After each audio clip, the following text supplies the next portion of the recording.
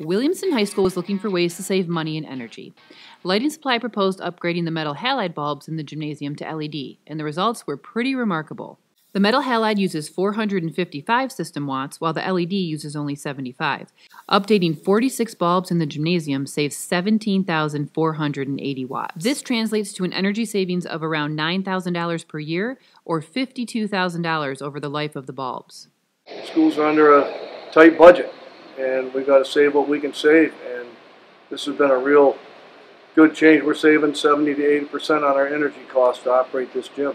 Williamston will also notice a maintenance cost savings since the LED bulbs last so much longer, meaning fewer bulb changes. The original lighting was constant maintenance, bulbs burning out during games, um, just very, very expensive to operate.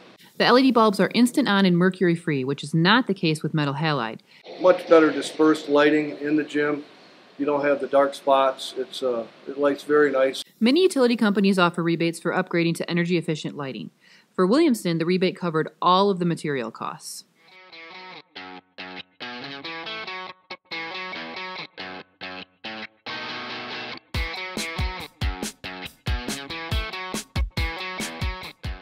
Absolutely, yeah, and I already have. so, yeah, no, I, I would. It's it's been a real pleasure working with our rep and and the company. And again, it's just nice to what we need. They have. They carry a just a vast array of stock, and we've got so much, many different lighting systems in this building, and I've yet to come up with one that Lighting Supply couldn't couldn't take care of. Interested in learning how a lighting upgrade can work for you?